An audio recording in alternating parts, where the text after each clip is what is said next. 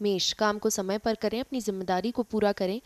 संतान से वाद विवाद हो सकता है, कार्यस्थल पर कर्मचारियों का सहयोग मिलेगा, वाहन खरीदने का मन बना रहे हैं तो जल्द पूरा होगा।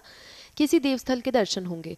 ऋषभ, किसी बात को लेकर मन विचलित होगा, आय की अधिकता रहेगी, ज़रूरी दस्तावेज़ को ढूँढने में समय व्यतीत होगा। कारोबार में सफल होने के लिए पहले कार्य योजना बनाएँ, फिर उसे लागू करें, सफल होंगे।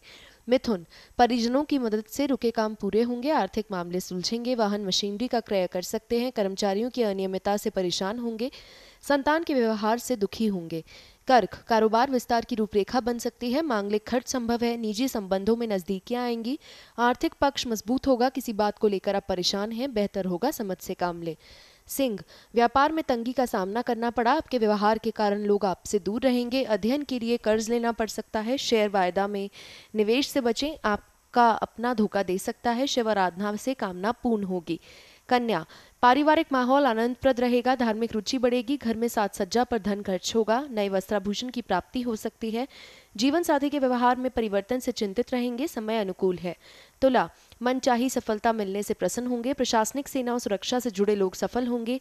मकान बदलने के योग हैं, भूमि संबंधित नए अनुबंध हो सकते हैं, व्यवसाय में लाभ की स्थिति बनेगी।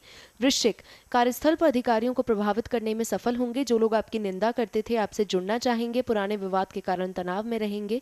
आप फालतू में ज़्यादा निरर्थक सोचते हैं।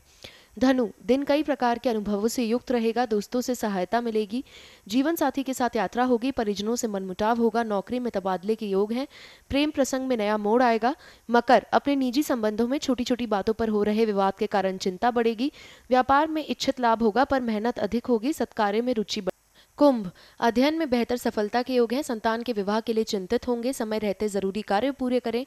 भाइयों के साथ विवाद की स्थिति बन सकती है। शांति से काम करें और क्रोध पर नियंत्रण रखें। मीन। राजनीतिक जातकों के लिए समय उपयुक्त है। विरोधी परास्त होंगे और उन्नति के नए अवसर मिलेंगे। आर्थिक लाभ के योग हैं। संतान सुख संभव है। सुख सुविधा पर खर्च होगा। शिव उपासना में समय बीतेगा।